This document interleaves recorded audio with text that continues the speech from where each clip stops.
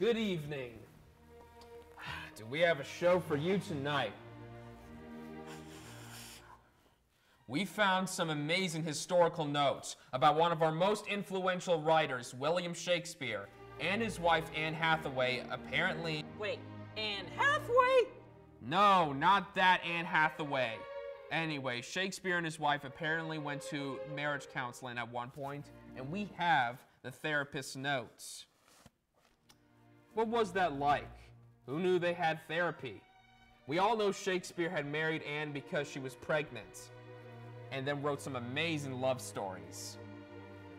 Who were the great passions in his life? If Anne was such a great love and they had to go to therapy, what was that like?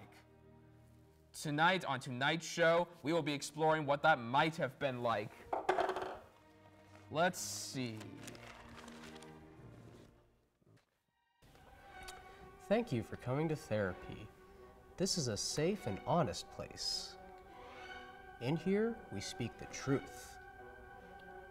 This is open territory. Do or say anything you feel will help your marriage.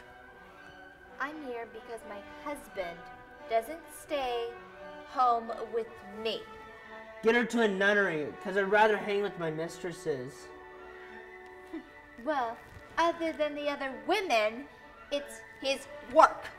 All his time, all the plays.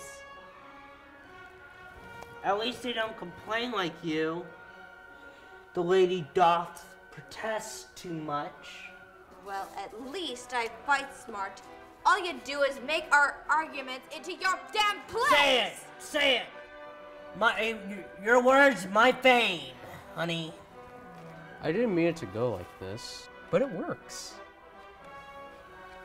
I also do private sessions. The course of true love never did run smooth. Hmm. Well, there is no love. Here.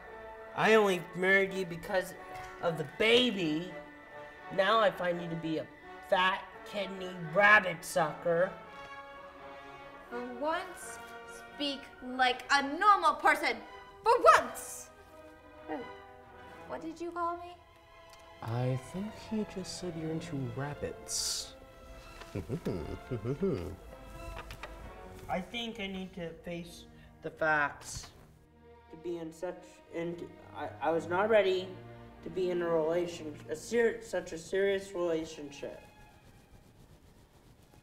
I rushed into things too fast and led us both, especially me, that into an abyss of pain and suffering.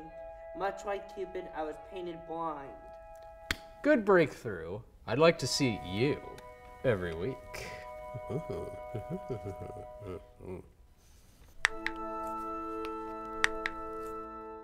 I know, I know, but I do love her. Nothing in the world so much as her.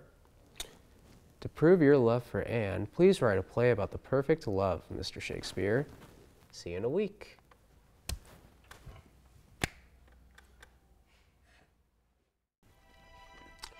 I read the play you wrote, and I must say, this Romeo and Juliet is quite a story.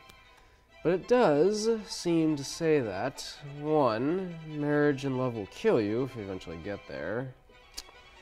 Two, it's better to kill off the love while it's fresh and new, while the lovers are young. Then the love is eternal. And three, in laws always suck. Is this really how to woo your wife back? Anne had her baby six months after they were wed. Maybe something was rotten in the state of their marriage. Maybe William never had to marry Anne in the first place. But they didn't divorce after the baby. Woo! They had two children. So, no Shakespeare daddy, someone else, or, huh? How do we even know those are real historical documents? This all sounds phony. Yeah. Of course it's real. You think we make this stuff up? I mean, this is serious stuff.